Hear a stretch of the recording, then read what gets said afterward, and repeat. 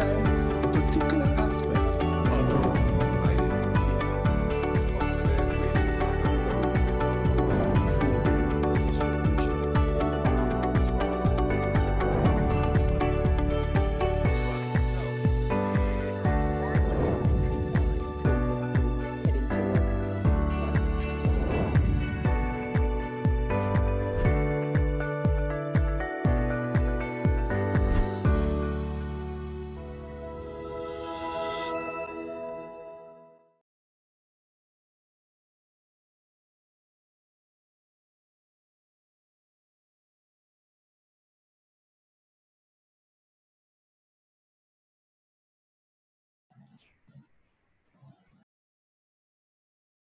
Ladies and gentlemen, colleagues, participants, a warm welcome to all of you and all the panelists, and the participants. This is the fifth webinar of the FAO COVID-19 and Food Systems series. This webinar is possible thanks to the joint collaboration between FAO and the CARICOM Secretariat. Today's webinar will focus on enabling agricultural investment in the Caribbean for an effective response and post-COVID-19 recovery. We all are aware that the Caribbean's food imports, food production, and overall economy is threatened by potential disruptions and shortages that could be caused by COVID-19. This is what makes this seminar of importance today. The seminar is being broadcasted via FAO YouTube channel and through FAO's capacity building platform. For those participants of you who are registered through the FAO capacity building platform, you will be receiving a certificate for your participation. The seminar is going to run for about an hour and we have two main parts. In the first part, we will have four brief presentations to stimulate thought and discussion on the main issues that bring us here today. The second part of the webinar will have questions formulated by regional experts. Following that, we are going to open the floor to take some questions from you, the audience, as posted on YouTube. Now, to get through the packed agenda today, in the limited time frame, we're going to ask that all panelists follow the time that is assigned to their presentations. And I will give you a gentle reminder when you have two minutes left. This being said, let's move right into business. I give the floor to Mr. Julio Berdegué, who is the FAO Assistant Director General and Regional Representative for Latin America and the Caribbean. Mr. Berdegué, over to you. Thank you very much, uh, Gillian. Welcome all of our distinguished panelists and commentators. Above all, uh, welcome to the over 300 people who are listening via YouTube are participating in this webinar. This is a very good participation. Uh, in when we did uh, similar webinars for Latin America, we had about you know three times as many, but considering the proportion in the population, we have a much greater uh, relative population in this webinar than we've had on the Latin American side. So this is very, very encouraging, a good starting point. Uh, the meeting today is going to be driven by the presentations and the talks of seven distinguished colleagues. We have the honor of having two honorable ministers, Mr. Saboto Caesar, Minister of Agriculture, St. Vincent of the, and the Grenadines, who is also the chair of the CARICOM Agriculture Sector COVID-19 Response Task Force. Welcome, Mr. Saboto Caesar. We also have the Honorable Minister Michael Clifton Pintard, Minister of Agriculture and Marine Resources of the Bahamas. Thank you for coming today, sir.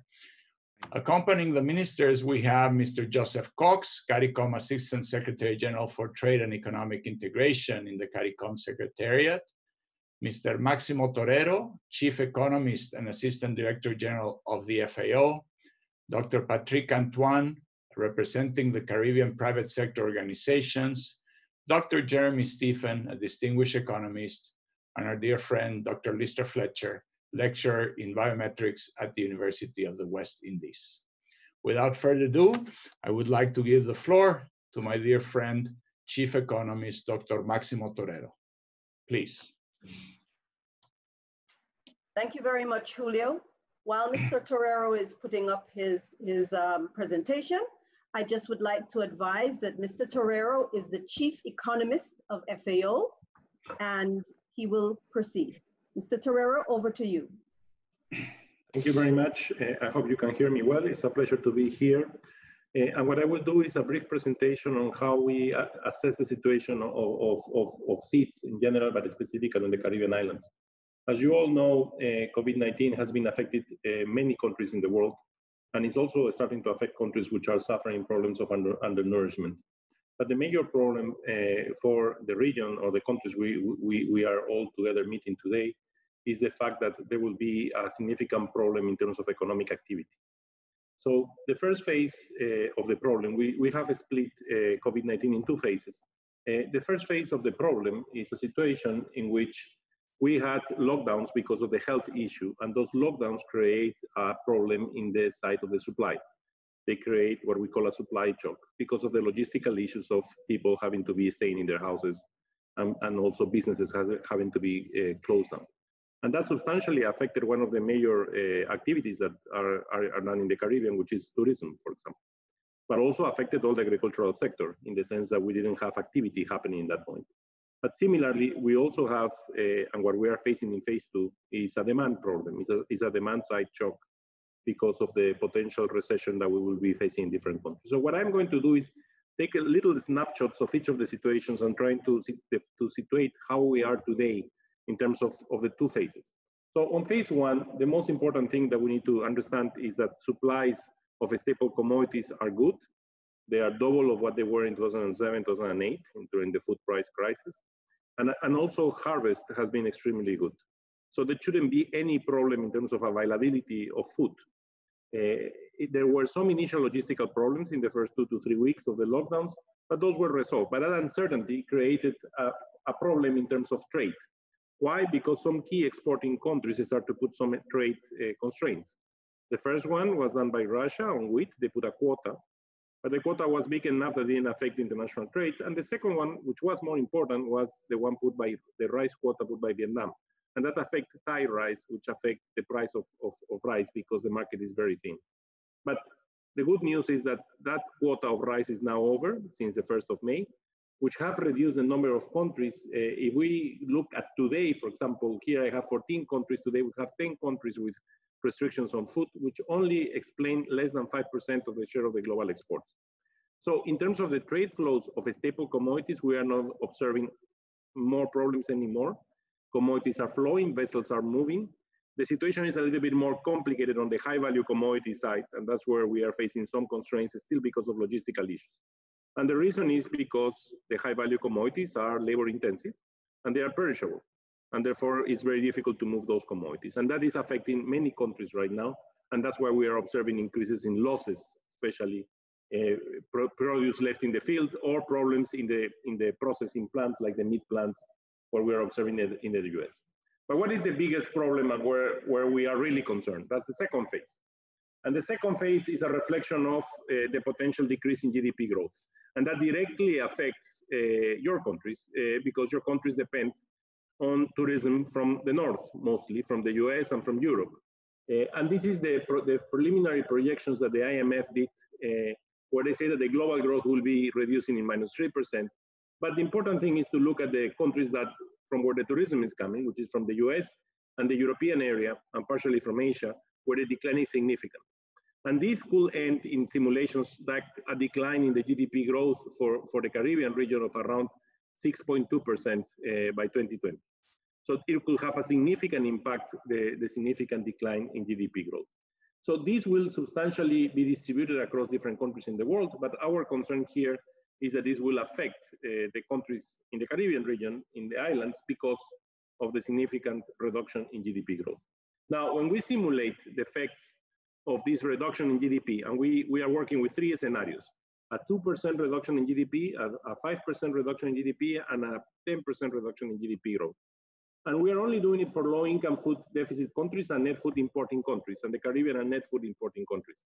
And as you can see, the number of undernourishment could go from 14.4 million to 80.3 million if we have a GDP decline of minus 10%. Now, people think that this is not, that the GDP at the global level won't decrease at 10%. And it could be they are right, and we hope they are right. But if there is a second wave of COVID-19, the probability that we get close to minus 10% is pretty high. But at the country level, uh, in many countries of the world, these numbers could be attainable, and that's something to really concern about. Now, the, the population below poverty line in most of the of the, of the SIDS and, and especially in Caribbean islands is still where they are facing some significant problems in terms of, of, of poverty, especially Haiti, uh, which is facing significant rates of, of poverty. But what, what is the, the concern and where we are worried? We are worried on the dependency on tourism, as you all know. We are worried on the level of external debt that the countries have uh, and how this will affect the capacity of the country to be able to import the food that they import every day, or what other options we have to cope and to increase uh, the resilience of, of this country. So this table is showing what is the level of financial assistance needed by each of the islands to try to see how we can work with multilateral organizations like the IMF to find solutions to, do, to this. And the IMF is opening several mechanisms to support in, in the sense to provide the financial support that will allow to cope for the period of the base of the U uh, of the recession that we will be facing. Why is so important? Because of the decline in tourism that will be affecting the region substantially. There's a substantial collapse in tourism that will continue for a significant number of months because the only way that tourism will be reactivated will be if a vaccine is identified or if a cure is identified. And we know that the vaccine won't be available from 12 to 18 months. So that's the, the time of the lower part of the U shape that you will be facing and where we need to be careful about it. Not only that, that's excluding the, the recession. So let's assume that we find the vaccine, as some presidents say, by December.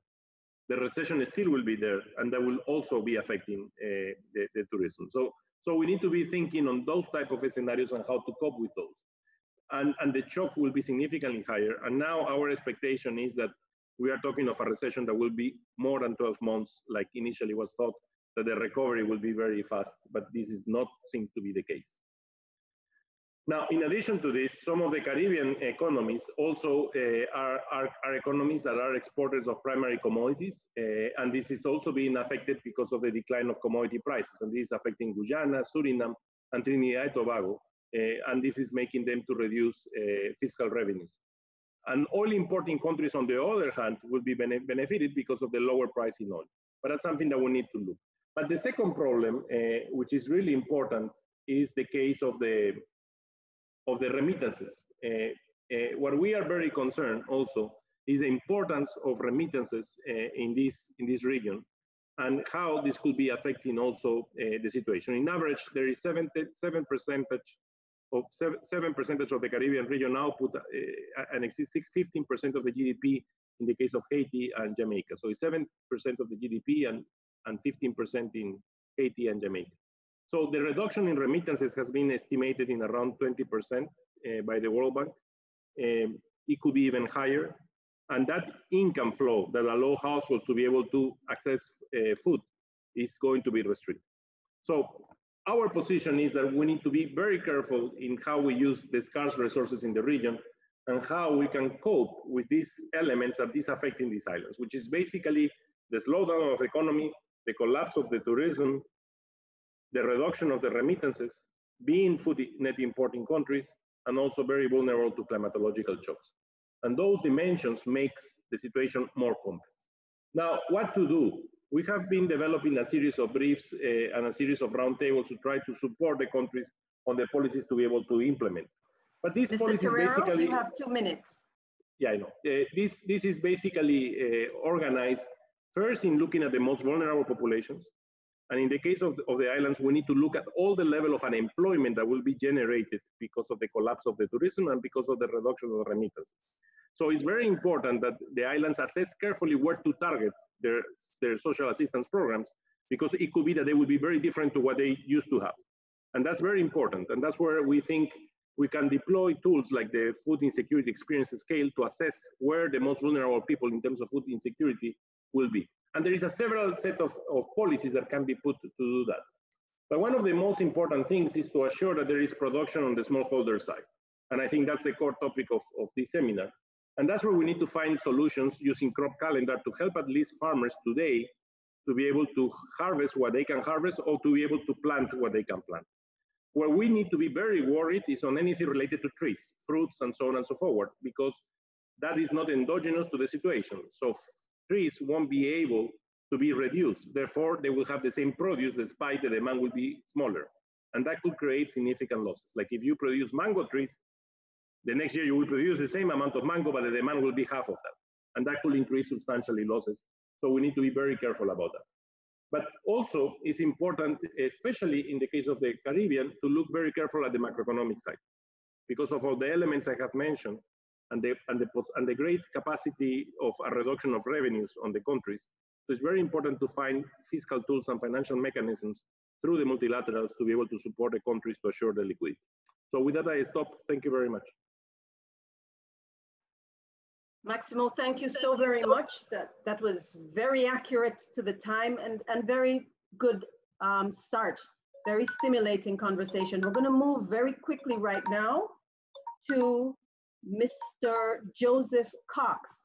Mr. Joseph Cox is the Assistant Secretary General for Trade and e Economic Integration in the Caribbean, in sorry, in CARICOM, and he has more than 25 years of professional experience in trade and economic issues. It's a pleasure to have you here with us, and we're going to pass you over for 10 minutes, pass the floor over to you. On you go. Okay, thank you very much, um, Jillian. Um, what we're looking at here is as we move through the blueprint for transitioning to the post-COVID economic recovery, meaning how we look to reopen economies, we have to first of all take cognizance of what the picture is now, right now. As at yesterday, we are looking at 1,120 cases of COVID in the region. The prevalence rate is um, the minimum is 0.009. The test per thousand is between 0.10 and 12.5. The case fatality rates are 0 to 12%, and recovery rates are 11.9 to 90%. Um, those are details of the per country scenarios. But what we have to look at is that we are working in a region whereby there's a very high rate of informality ranging between 40 and 60%. But to date, the um, the region's governments have spent anywhere between 1% to 4% of GDP on the COVID outbreak. Our fiscal multipliers, we have to recognize, are weak.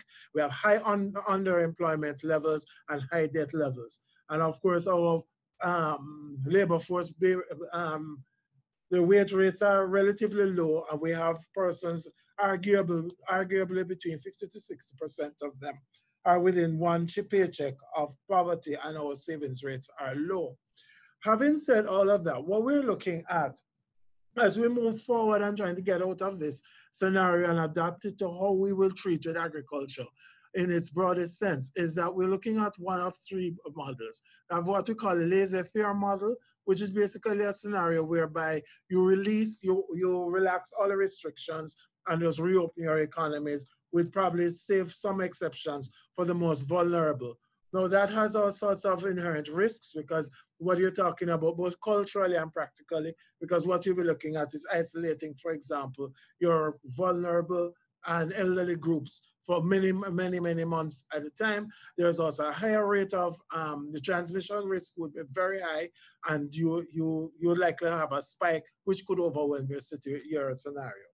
On a zero risk model, what we're looking at is a situation where you're waiting until a vaccine. And as the previous speakers um, recognizes, 12 to 18 months at best, at, at best. And the truth be spoken is that that would mean that you'd have to be able to enforce your lockdowns, etc., for a considerable period of time. And with the high rates of informality, etc., that was referenced before, it would make that impractical for implementation. So where we're going now is that we're looking at a graduated model.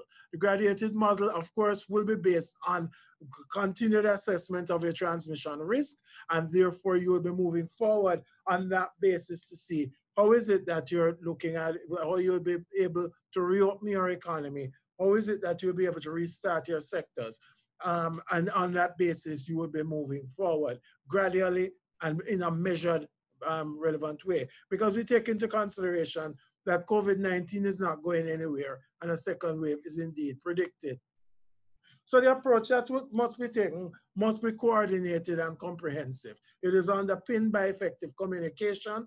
And in that respect, we have to look at when you're looking to reopen and when you're looking to move forward with agriculture and the attendant um, sectors or industries that come from um, that, we have to look at communicating to, for example, our manufacturing or distribution base as to how is it that they need to reconfigure their factory floor their, um, or their processes to ensure that we still have the requisite protective mechanisms in place to ensure or minimize the possibility of an, of an additional outbreak. We have to, of course, speak to the preservation of confidence and stability in it because in this dynamic, what we're really looking at, we're looking at two different sets of customers, so to speak. We're looking at the internal customers and the external customers. Your internal customers, of course, are your workers and the external customers, well, be it if you're talking about tourism, there's a tourist coming in, your, your um, customers who go to the stores or markets to, to buy produce or whatever, all of those persons have to have at least a reasonable sense that they will be um, protected. Or, or you will find that the employees just won't come to work, frankly speaking, or the level of absenteeism, as they are recognizing now in China, is, is, is indeed growing. You also have to allow for differentiated measures at a national level for implementation. And of course, you have to take into account the interlinkages and spillovers from your various groupings. So what we have come up with, we have come up with a set of defined metrics. I won't spend a lot of time on this, but we have come up with a lot of a set of defined metrics that would uh, allow for harmonization across the region, um, whereby so even though you allow for differentiation at the local level, it still have an overall framework that we, within which we are operating. Um, but of course, we have to now focus on what exactly is a functional state of readiness.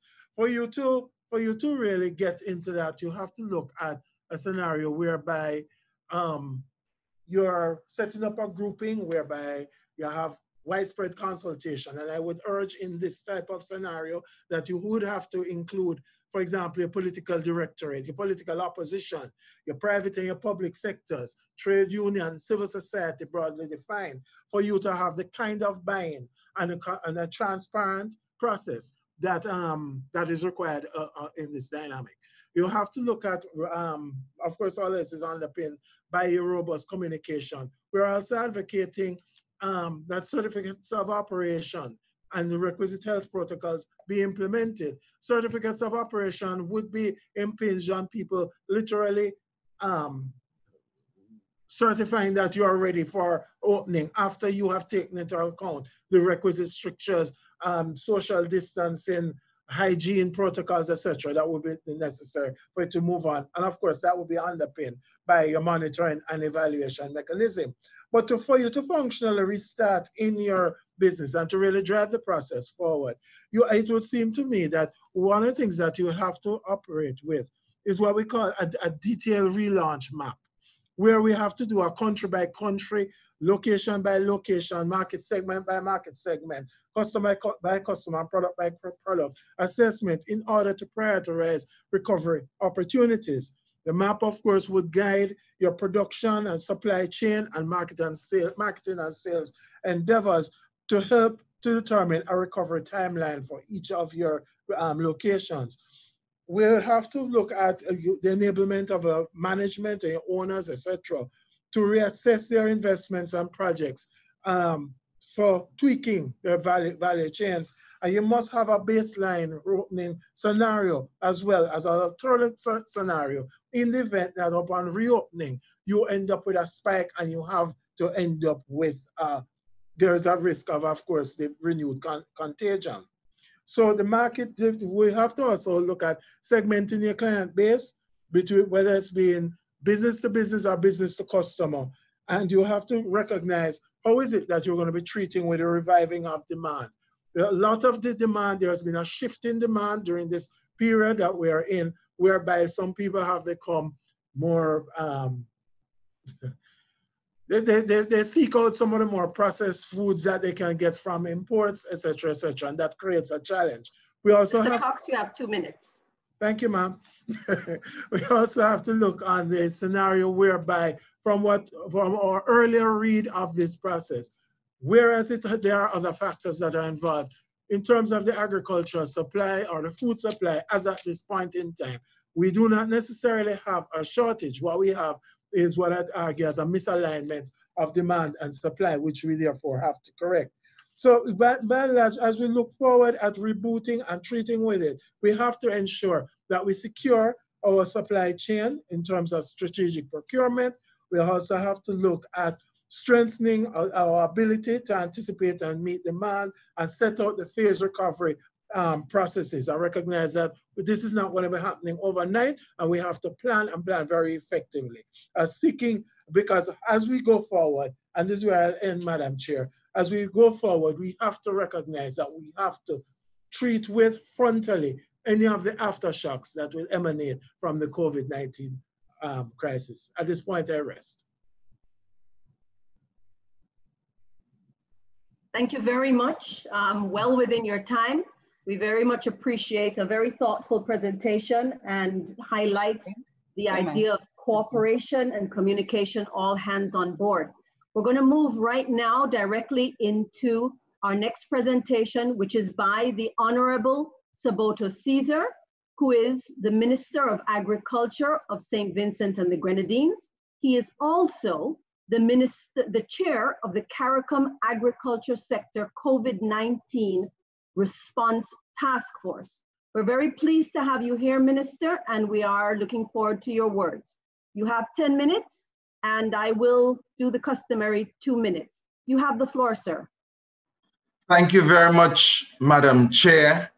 And I want to recognize my colleague minister from the Bahamas, the representatives here from the CARICOM Secretariat, the FAO, all definitely I'm sending greetings from the government and people of St. Vincent and the Grenadines and from all the hard working ministries of agriculture here in the OECS and in CARICOM.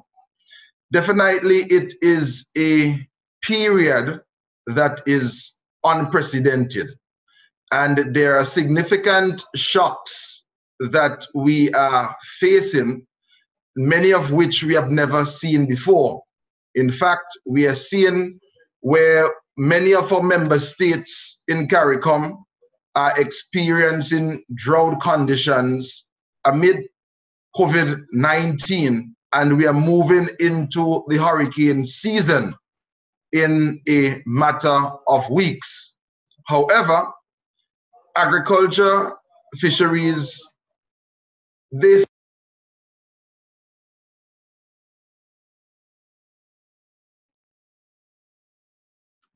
Minister, we've lost you for a moment. Your voice, Are you we're still unable to hear you, Minister Sabota.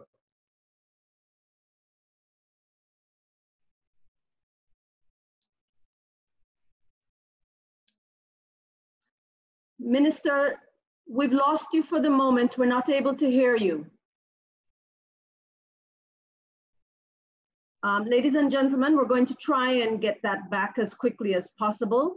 Um, our technical team is working hard to try to follow up and, and get us to be reconnected. So let's give them just a few minutes here quickly.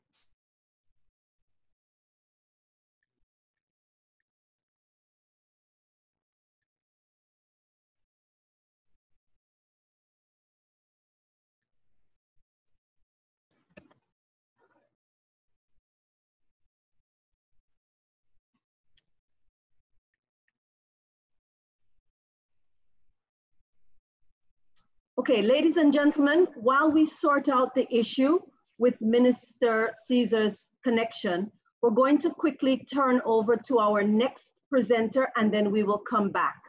So our next presenter is from the private sector and he is Dr. An Patrick Antoine, and he is an expert on issues related to international trade and economic policies in agriculture. We invite Mr. and Dr. Antoine to share his presentation with us, and you have a maximum of 10 minutes, sir, while we sort out the issue with Minister Caesar's connection. Dr. Antoine, can you be begin, please? This is presentation, Sila. Yeah. Uh, we believe that, okay, it's coming now. The presentation from uh, Minister Saboto was still still up. So yeah. we're trying to, we're trying to, we're trying to replace it. Okay. Um, Minister Caesar's office will, will stop sharing and then we can um, get your your presentation. Right. In the meantime, let me just advise that we have more than 500 people that have joined us by YouTube, and we're very happy for that. Um, we are collecting your comments. We understand that there's a little issue with the sound, and we're working on that as well. Please do share with us any comments that you have and any questions that you might have for our presenters. What we are planning to do is we will gather what we can, and when we do have time, we very much want to ask the presenters um, your questions on your behalf. So Dr. Antoine has begun to share his screen, and we are going over to him now to begin his presentation, even as we try to sort out what is the situation with the presentation of the Honorable Minister Caesar. Dr. Antoine, over to you, please. Moderator, thank you very much. And on behalf of the chairman and the executive of the, Car of the Caribbean uh, Private Sector um, Organization, it, it, it, gives us uh, tremendous pleasure to be making this presentation to you. Um, very quickly, the CPO was uh, created by a decision of heads on the at the 18th special meeting in Trinidad and Tobago in 2018. And of course, by, by that, the, the heads uh, delivered on a commitment that was long contemplated by the region. The theme this morning we think is extremely important, and the way we want to, to do this is to see that there are some major issues that the region's grappled with for some time. And uh, at this juncture, we want to leave three key messages behind. I think the first one is that the next 10 years will be critical for the Caribbean uh, not just uh, because of the period that we're engaged in, but, but it will define what the Caribbean looks like in terms of investment going forward. I think the second message is that the private sector's involvement in the unfolding scenario of growth and employment and economic activity is going to be absolutely indispensable. We call it a sufficient condition for success. And the third message really is that investing in agriculture continues to be a very strong strategic move uh, agriculture has been recognized and agri-food has been recession-proof. And you know, we now know the, the dictum of many, many countries that, that if, uh, if there is a recession, people must eat. So for us, uh, Minister Saboto started getting into the matter of the trade statistics, and we won't therefore repeat that. We're going to leave it for him to come to complete that, that process. Only to say that uh, we are talking about a region where about 17% uh, of our uh, of, our imports are sourced intra-regionally. Uh, it's important, though, the third point I'm going to make is to understand what that means. It, it means that when you look at the rest of the, uh, the integration groupings and you put CARICOM alongside them, as it turns out, CARICOM does not perform out of sync with other integration groupings in terms of the ratio of uh, agriculture to non-agricultural uh, exports or imports, nor does it uh, perform in a disproportionate manner in relation to agriculture versus intra-regional agriculture versus intra-regional total trade.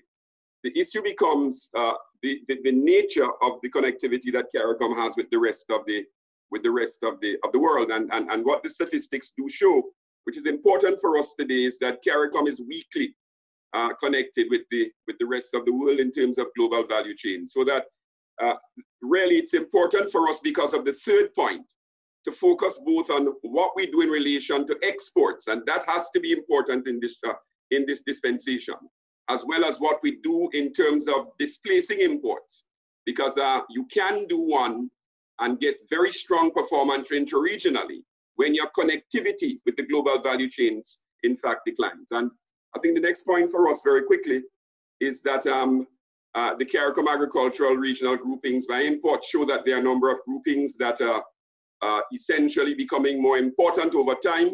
And um, those groupings, uh, when you look at their trade performance, when you look at their intra-regional trade, you're seeing that their intra-regional trade performance, again, even where it's consistent with CARICOM, when you look at what's happening with their intra-regional trade versus uh, what's happening with the rest of trade, they are in many instances 13 times more connected, and in some instances they are 10 times more connected, while in the case of CARICOM, you will see from an earlier slide that CARICOM is only 2.9 times uh, more, more connected than the others. And I think for, for us, uh, the important point was made earlier about where we are now in relation to tourism. And if you look at the, uh, the evolution of CARICOM trade over time, you will see that um, CARICOM's imports have gone up because our tourism's gone up. And now that our tourism is going to be declining, it will hold major implications for food supplies domestically but also for imports. So that's important because in looking at what the future will look like,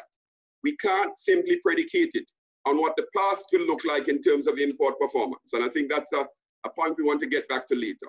What has the private sector done having regard to everything I've said? Well, we've said based on a decision by heads that there are a number of things that we want to uh, look at large investment opportunities that will make a huge impact on CARICOM's trade balance, foreign exchange, and CARICOM's uh, overall economic uh, footprint from a trade perspective. We want to cut imports by 25% by 2025. So the private sector got together regionally and we set up a number of criteria, which all of which is market driven, all of which comes from the data, tremendous data, studies and work done in CARICOM.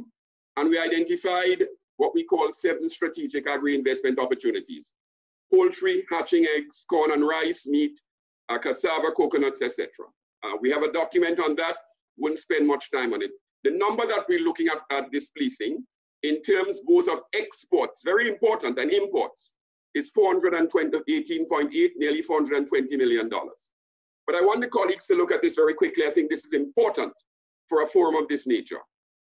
When you look at CARICOM's trade performance up to this point, we make the point that poultry meat, for instance, has been under lockdown. Hatching eggs, we call it, has been under lockdown. Corn and rice, uh, we've had movement in rice, but no movement in corn. And meat imports have been under lockdown. So we, we use the term lockdown to show that when you look at CARICOM's trade performance for poultry meat, hatching eggs, corn, and meat, you virtually get no intra-regional trade in those products. And what we're saying is that our task as a CPSO is to try to, as it were, unlock in the presence of this, this COVID uh, environment and with the, with the regeneration of interest in agriculture. It's to try to unlock the agricultural system so that we can perform positively on these. Cassava was under partial lockdown and niche vegetables. And, and here it's important because the only one that we have on the list that was totally liberalized without a significant non-tariff barriers, without other impediments to trade was coconut products. So what we've said is this, where we are now looking at the future in the context of COVID, we need to be concerned about driving exports, cutting imports, and driving intra-regional trade. We need to do that from a perspective of private sector investment. One of the first things we want to do that's, uh, that's different going forward, and we think that the platform is, has now been laid by, uh, for it by heads, is that we want to have, as it were, private sector involvement and investment in, in working with the regulatory agencies, in getting the best regulatory practices instituted. And I think that's been happening uh, with the protocols that we've now agreed to have countries implement and to finalize. And secondly, private sector investment in infrastructure is going to be critical. Uh, we can delve down on that in the discussion. I think the third point is geographically, we recognize that because of logistics and transportation, we've been, we've been close, but rarely we've been physically distanced because uh, it's very difficult to ship uh, efficiently to markets that are close by. And again, uh, this is important because we recognize that underlying this are some things we need to fix. Transportation and logistic uh, infrastructure and systems. Those are important things that we need to work on. The second thing for us to do in trying to generate a future that's different to the past, in recovery with exports, intra-regional trade, and cutting imports is that we need to focus on bringing technology to be the handmaiden of the agri-food system. And we need to do that, for instance, because the, the World Bank has identified that ICT readiness remains a drag on the growth in our Caribbean societies. And it's not, it's not trivial for agriculture. We saw recently an excellent example where ICT was used to have the pre-quarantine certificates from St. Vincent and the Grenadines cleared in Trinidad and Tobago before the vessel got in. What we would like to see uh, in the region from the CARICOM private sector uh, organization's perspective is to have these issues drilled down to total trade. So we want to be able to have the entire shipment cleared before the vessel gets there. And that's very important because it means that we have to enable ICT. We have to bring trust and confidence in the use of the ICT to, uh, to secure electronic payments and settlements. And that itself is another, it's another important issue, freedom of movement. Uh, Dr. Antoine, we have two minutes. We've heard the previous speaker from FAO speak about what's happening with high valued products. And we want to underscore that because a lot of the products that we produce in CARICOM are high value. But we have a problem. The countries that have tremendous land resource are often challenged with populations. And so we need to be able to liberalize our freedom of movement. And there's some good things that we started, for instance, agricultural workers. We need to finalize that protocol. And we also need to fix the impediments that still exist in moving prof uh, professionals, expert scientists uh, among and between the countries. And I think for us, the last thing to finance agriculture, we need to have more instruments. Commercial bank loans will not do it. We need to have a regional stock exchange. We need to have a CARICOM stock exchange that essentially drives private equity and removes the constraint. We need to have a junior stock exchange like Jamaica has given us an example, but we see some green shoots. There is a uh, strategic project investment facility that the CPSO has proposed to heads and they've accepted it. We need to get that going. We also want to give uh, some credit to what the UWI has done with the incubator project. We see those as being uh, symbiotic. Finally, we have to make a decision. Is this going to be incrementalism or are we going to make a quantum shift? We believe that in the most difficult circumstances that we face, there is scope and room for us to make a quantum shift. The CPSO members and the private sector are now engaged like never before, and we're committed to delivering on the commitment ahead in July. Thank you. Dr. Antoine, thank you so very much, first of all, for being ready and jumping in, and also for a very thought-provoking and thorough presentation. We're going to just head quickly back in view of our time, and we're going to see if we can get back to Doc, um, Honorable Minister Saboto Caesar. Minister, are you able to connect with us again? Yes, I I am there with you now. Wonderful. yes, I I closed on the on the issue briefly that we are moving from a drought. We're in the midst of COVID-19 and we're moving into the hurricane season. But in light of all of this, member states of CARICOM and of OECS, we have continued our meetings and with the support of the FAO and other international organizations, we were able to create a CARICOM plan. And I just want to delve into it briefly. We have been able to come up with a, a framework whereby we have identified several commodities that we want to address in the short to medium term that we can trade intra-regionally. We are now working on addressing issues of SPS protocols because we recognize that historically we have seen these as a barrier to trade.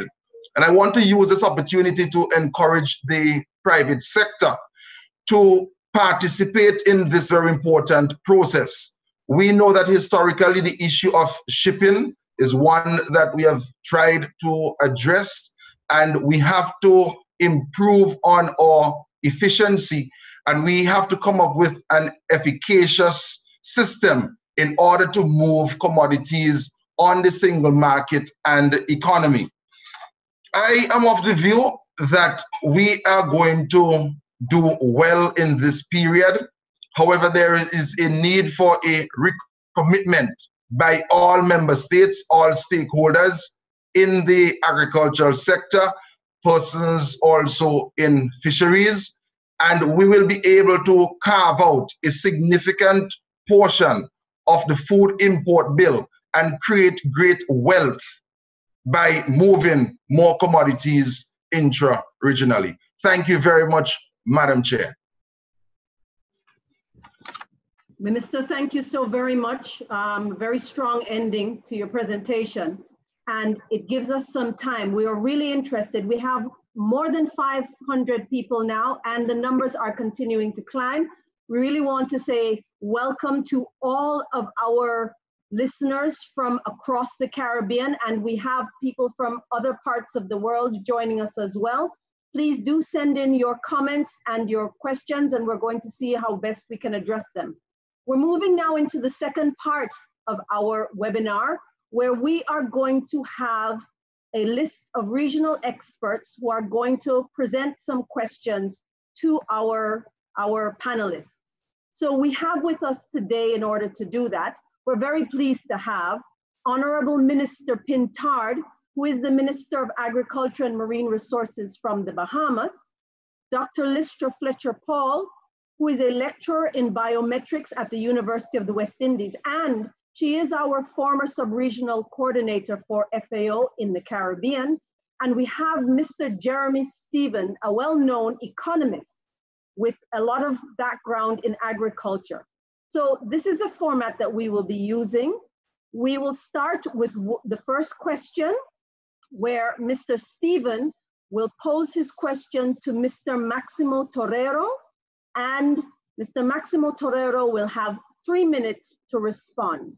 So with that, Jeremy, over to you, please, to pose your question to Mr. Torero. Okay, good afternoon. Can you all hear me and see me? Yes, you can. I must say I thoroughly enjoyed every question, every presentation I've seen so far, uh, particularly uh, from my St. Vincent brothers, my Vincentian brothers, and the minister as well uh, who have been looking at actual technical and probable solutions addressing some concerns that I've had myself. Uh, it was good to see Senor uh, Torero uh, also give a very good macroeconomic response that was definitely sensitive to our peculiar situations. Uh, but mainly what I do have on in mind is where the issue of debt plays into it. What was said afterwards by the Honorable Minister and Dr. Antoine uh, has to be considered within the presentation, or rather given more of a priority. And it's not necessarily a criticism, but rather, you know, time. he had only just 10 minutes, and I'm sure that that would have been top of mind. So the, the element is this that in the Caribbean, particularly our small states, which are net importers, the issue of foreign reserves always comes up as a primary concern, particularly when you're not earning. It has been well established that we are not earning or not going to earn at least for the next 18 months in the traditional way. It may also be very well the case that we are going to be locked out from being able to borrow given our high um, debt propensities, or our high uh, external debt propensities, and our high, even higher public domestic public debt propensities. So, in that light, the whole issue of logistics and the troubles that have been spoken about, and also the issues concerning other social aspects in, ter- in terms of spending on health, um, that's important for us in Barbados, for example, probably even more so than others, and other facets of social safety nets.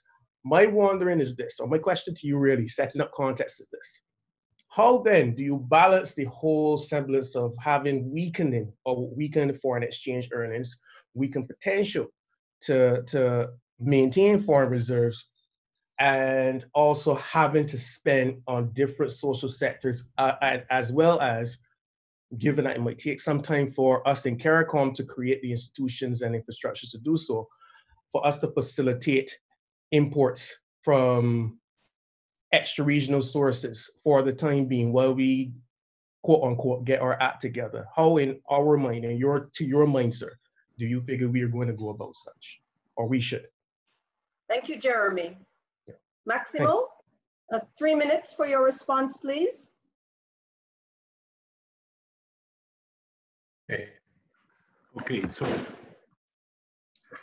That's a very difficult question. You see, uh, uh, I think that the issue right now is not an issue of um, availability of food. I, I, think food will be available. The problem is of liquidity to be able to, to access that food. And that's where you will be facing a significant constraint.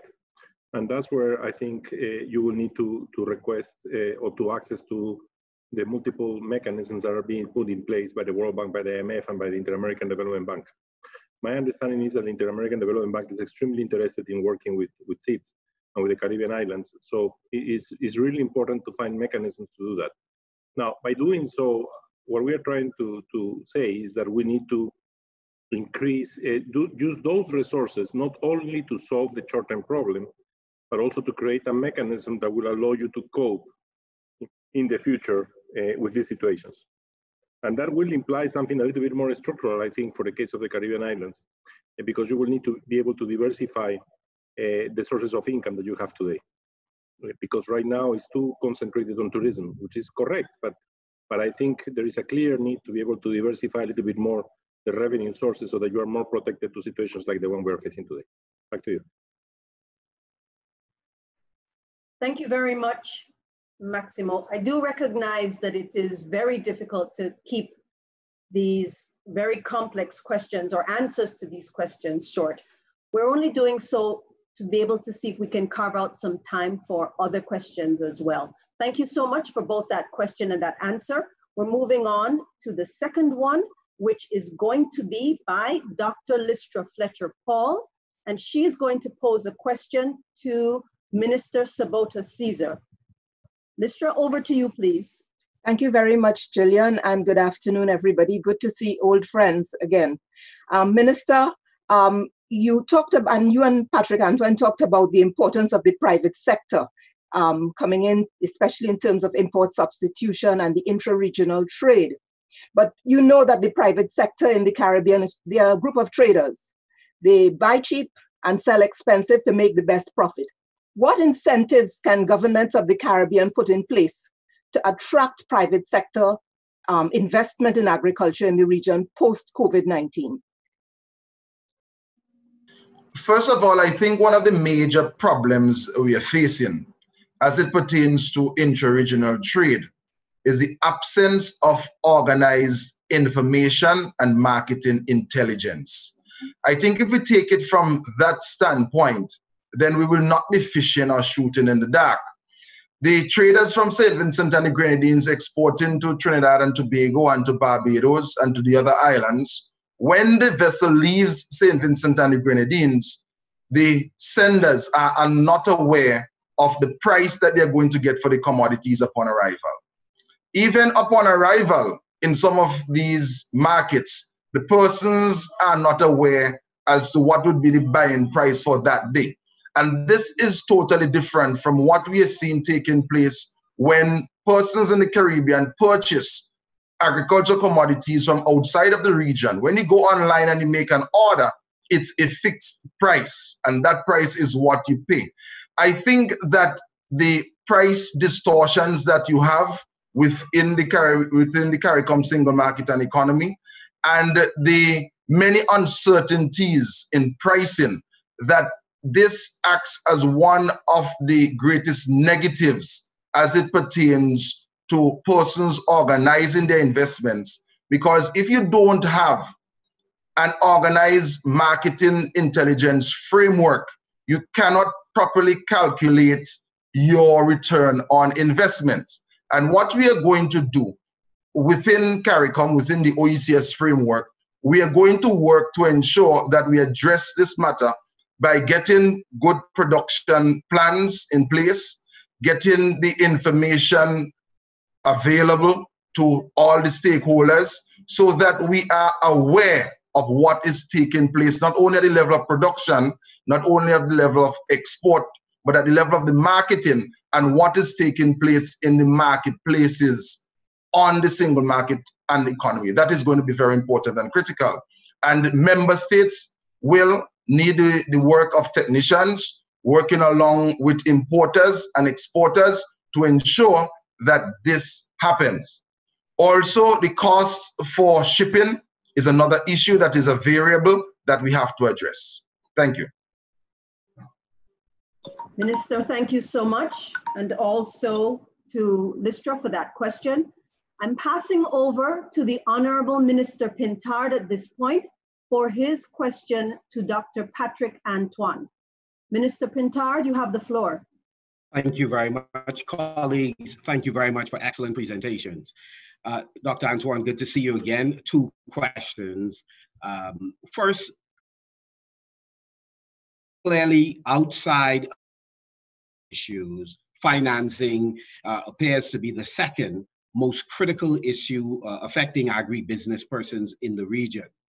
Uh, for those listening, are you able to mention uh, a, a list, a short list of blended financing options that should be able to assist the sector in growing and comment on that in terms of those blended financing coming one from the public sector and two from the private sector. The second part of the question then relates to the issue of uh, protectionism, which has uh, which has historically been a bad word, but in the midst of COVID appears to be gaining some currency.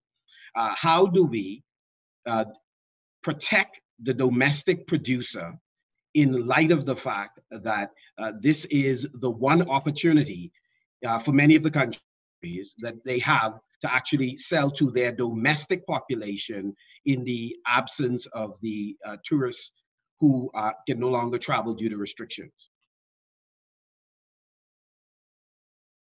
Thank you very much, Minister. Uh, you, you're absolutely um, you're absolutely spot on by focusing on finance. The first thing is that I think we need to recognize that our capital and finance markets are extremely underdeveloped. And, and again, it's not rhetoric. We've said this, and Jamaica in the last five years have shown us the way in terms of the junior stock exchange.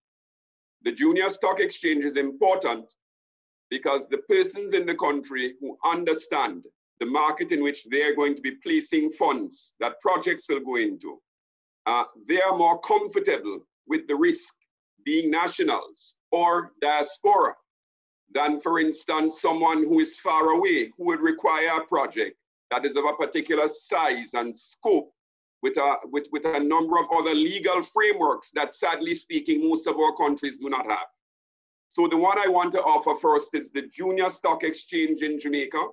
There's a recent experiment in Trinidad with it, and there have been two successful projects funded from that. We would like to see that extended to agriculture. The second one is creating a market for equities. Again, the same way, where essentially groups of persons can come together with an equity management firm and they can place their funds there and have those, those funds with, with specific rules for investment uh, invested in various projects which need not only be in one country. We believe this is also right for agriculture at this time because it's not just production, it's also distribution and support services, etc. Thirdly, there's an opportunity for government at this time to use some of the borrowing power that it has, which is not a lot. I heard, uh, I heard the colleague before, and blend that with private sector funding. And let me just say, without giving the names of a firm, that we have an interesting example now where the government is prepared to put some funding in that, with, that was already programmed for agriculture. And a private sector firm is putting a substantial amount of funds in, as it were, to create a new entity that services agriculture from the standpoint of providing critical intermediate inputs to a large industry. That we believe is, is, is one of the ways that we need to move in agriculture. Second question, in terms of servicing the, in, in terms of displacing the product and the imports and the supplies that went into tourism, this is a challenge. What have we been doing? We've been supporting the countries now. Um, Mr. Cox will see a document shortly from the CPSO where we've been helping them design protocols and guidelines first so that the system can begin functioning again. Uh, and and, and this, this is important. We had to make a presentation where we argued that, look, for agriculture to move, we have to unblock distribution. We have to unblock retail. We have to unblock supermarkets. We have to unblock the small stores. Because unless those are unblocked, we're not going to get the agricultural system being responsive. And so we believe that the way that we need to do that is to unblock it and then target it to the, uh, to the, to the public sector institutions, to the prisons, to the schools, to the hospitals. We need to have a policy now where regionally we come together with a framework that says that we will use regional product to supply those institutions first. And we know that in the context of emergency support, we can find a framework in the WTO and in the CARICOM Treaty to do it. So those are the things that I want to suggest at this time that we need to embark on as a matter of priority. Thank you very much.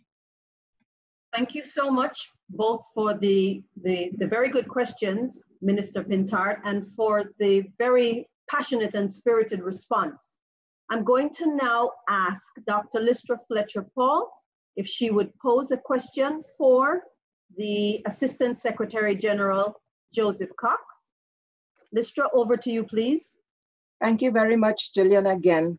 Um, Mr. Cox, one part of this solution that is being proposed for intra-regional trade has to deal with cross-border investments in agriculture. Because some of these small countries have businessmen who may be able to invest in some of the bigger countries for production on a larger scale. What are the main constraints to cross-border investments in agriculture? And what programs does the CARICOM Secretariat have to support cross-border investments in the Caribbean post-COVID-19?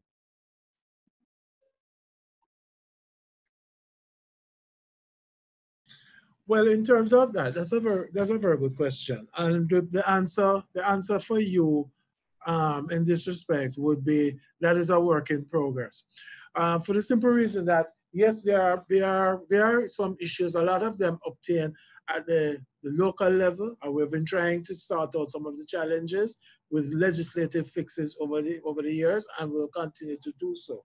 Because the simple fact of it is that whereas there is there is tremendous latitude and not many restrictions in terms of cross-border movement of capital, etc., the challenges sometimes up, um, obtained at the local level with some of the nuances that are introduced at that point.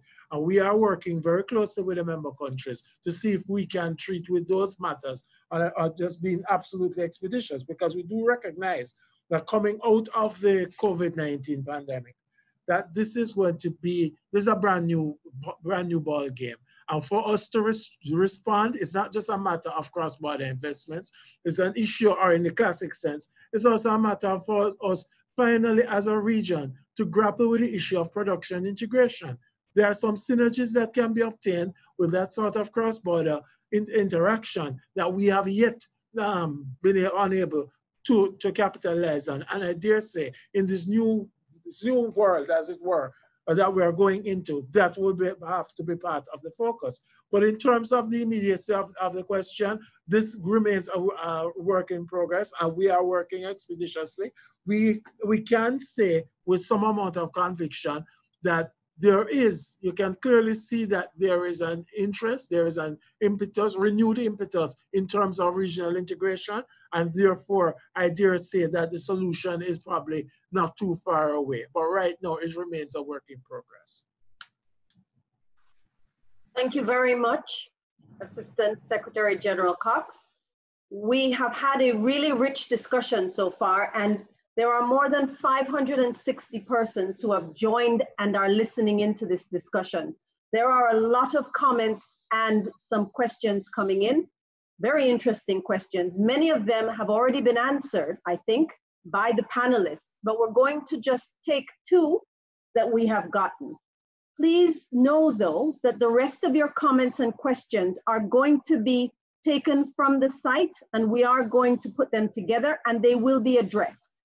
We won't necessarily have the time because we are committed to keeping this, this um, webinar within a particular period of time, but we will be having other webinars and other opportunities to continue this discussion.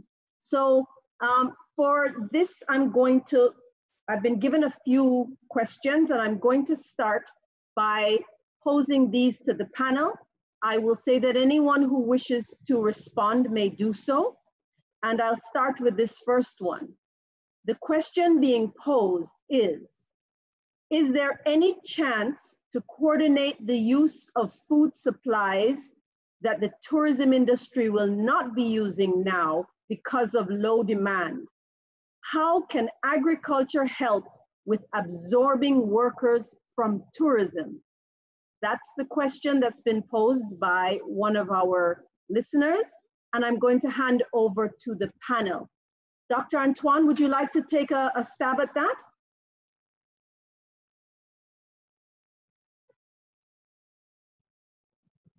Uh, Dr. Antoine, you're, you're still muted. Yes, thank you. I think that question is the 100 ton gorilla in the room, having regard to what um, I believe was said from the presentation by uh, the FAO speaker, the chief economist, and myself in terms of the numbers showing tourism and, and uh, tourism growth and imports. My own view is that um, it is going to be difficult for us to displace pound for pound um, what is uh, what has been demanded by tourism um, with what is consumed domestically. I think a proportion of that, as I said earlier, we can look at markets for it regionally, but that calls for us to do some urgent things which are possible. Let me repeat on this call. It is possible to do those things, for instance. What Minister Saboto and they did with Trinidad is just an example of what we thought was not possible before. Before, the technology was there, but we heard it wasn't possible to reduce transactions costs. Why is this important? Because to sell a lot of those things that went into tourism, we're going to have to be at a price point where we're competitive regionally because disposable incomes are falling. People are going to be out of work. And so they will be stretching their dollar further. So a proportion, yes. All of it, I don't see it in the short run. So what do we do? We can get our heads to coordinate themselves and try to come up with a regime where we can begin thinking about opening our economies on a regional basis based on the science. At some stage, we have to get out of lockdown. If we are able to do that, to open up regionally together, now the rest of CARICOM can still be ring fenced. But if Trinidad is safe and Barbados is safe because we have had no cases over 28 days, we can begin stimulating intra-regional tourism in a bubble in the meantime. That is going to help take up some of this demand. That is what is exciting the private sector right now. Um, Joseph Cox is on the call. How we do it is another thing, but we believe that's one of the first phases that we can enter. That's why I would answer that question. Thank you. Thank you very much. Um, Joseph, would you like to add anything to that? No, well, I mean, I, I, agree with I agree with Patrick. But the, the thing is simple is, and that is why we have gone the route of, of uh, developing some defined metrics with which we can operate in concert. Because mm-hmm. in country, yes, that it will be an opportunity for some of the surplus that now obtains in the in the agriculture to be obtained, to be absorbed by an, an uptick in inter-regional trade. But it also creates the opportunity and redefines in some respects the role of the state, one, and it also highlights some of the dysfunction in our price mechanism. Because truthfully, what you have found in the market is that, you have, for example, you have a surplus in eggs in Jamaica and Barbados, I believe. But the truth be spoken is that there has not been an attendant adjustment in terms of price. And therefore, what you have to do, you have to seek to treat with how do we deal with some of that? Where how can we boost demand by having the um, normal and practical realignment of prices, but at the same time also look at the opportunities that, that are not being created for the state to sometimes to intervene, to drive from the farm to fork programs, um, and for the private sector also to look at for the medium term the a, a real investment in terms of um, agro processing so that we can actually optimize what we're going, what we're getting out of the, the market. Good, thank you so much. We're gonna squeeze in one quick question, one last question so that um, before we go, we have maybe five or so minutes left. And I'm going to ask, this one is for Minister Caesar. Could you give us an example of public policy specifically for small farmers that may be applied on the recovery of agri-food chains. Minister? Thank you very much, Madam Chair. We, we established very early o'clock in St. Vincent and the Grenadines, and it is taking place in uh, many of the other member states of CARICOM, OECS. Whereby we have taken stimulus packages to our parliaments. What we are seeing is that we recognize that persons are in need of capital in order to fuel and to stimulate their investments.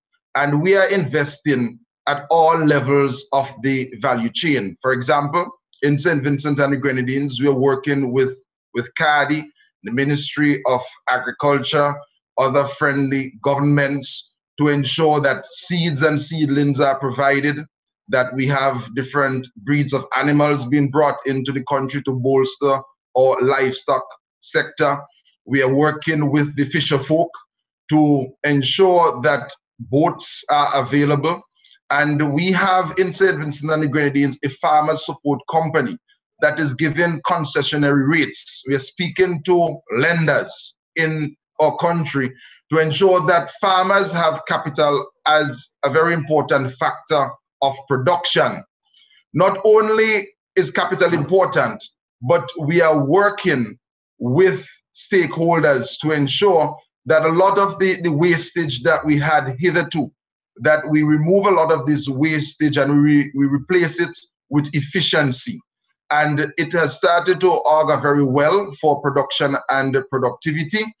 And we are seeing where this is assisting a lot of the farmers and stakeholders in the agricultural sector. Very good. Thank you so much. We've really had a rich discussion. I am sorry that we can't continue, but I think quality is always better over quantity. Well, not always, but it, it, it's, it's quality over quantity is often very good.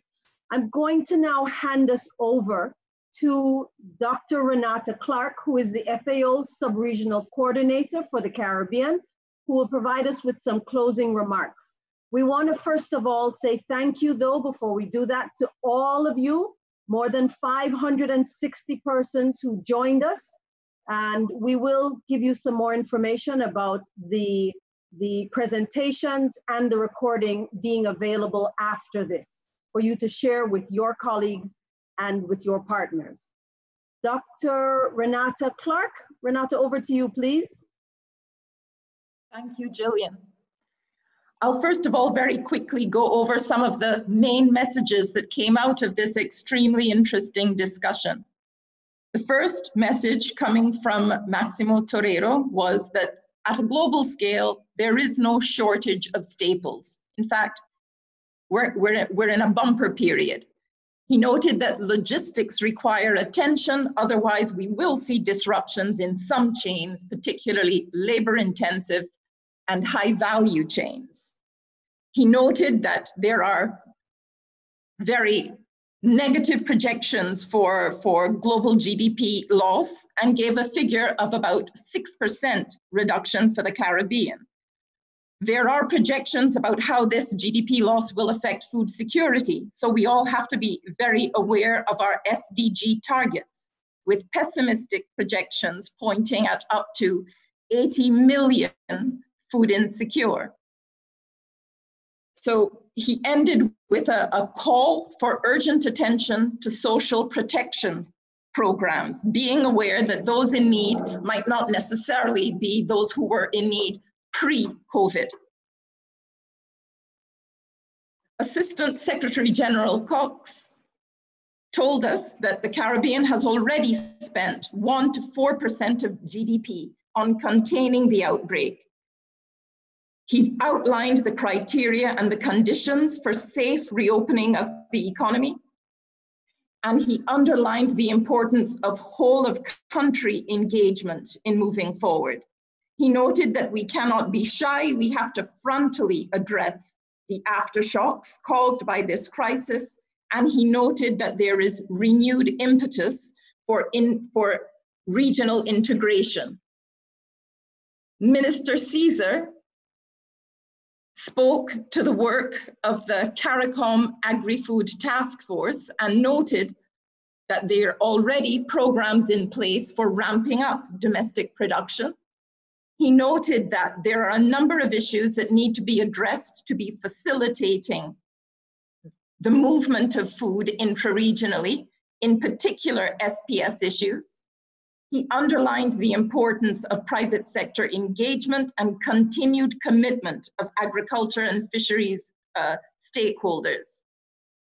He has strong belief that we will create wealth within the region through intra-regional trade, and he noted that the issue of market information, production statistics, and projections are going to be are lacking currently and need to be addressed to be facilitating this transition. Dr. Antoine warned us that the next 10 years can define where we end up. He also warned us that the private sector is a critical part of the solution. He outlined plans that were put forward by his uh, organization for reducing 25% of food imports by 2025. And he outlined a plan for seven strategic agricultural uh, opportunities in the agriculture sector. He noted the importance of having enabling policies that will allow it, this, these plans to succeed. He pointed to best regulatory practice as something that the Caribbean needs to embrace. He pointed to the need for investment. He underlined the issue of the ICT drag, noting recent successes with the use of electronic certification as being important facilitators in trade. He also pointed to important mechanisms such as national and regional stock exchanges as being important mechanisms to to facilitate investment, private sector investment. I would like to thank our very distinguished speakers, our very distinguished questioners as well, and our very interested public. As Gillian has said, there are more than 560 of you listening in, and we will continue to put up information on the presentations and answering some of the questions that we were not able to address. So I hope that you keep visiting the site. I would finally like to end by letting you know that this webinar is one of a series and the next webinar will be on school feeding as a strategy to reduce the effects of the pandemic on food security and nutrition. More information on the time and access details will be provided. With that, I would like to thank you again. It has been an extremely interesting and very useful webinar. Over to you, Gillian. I think with that said, um, there isn't a lot more to, to add. We want to thank very much all of our presenters and all of our experts. We really appreciate the time that you have spent and the thought-provoking information and ideas that we had. I very much am impressed with the amount of action. We're not just talking and we're not just spinning wheels. We are talking about actual practical things that are happening on the ground. We talked a lot about all of hands on board, and I can see that we have a very wide variety of stakeholders that are here in this process. So I think with that, there isn't very much else to say. Thank you so much for your time, all of you, all our Caribbean brothers and sisters.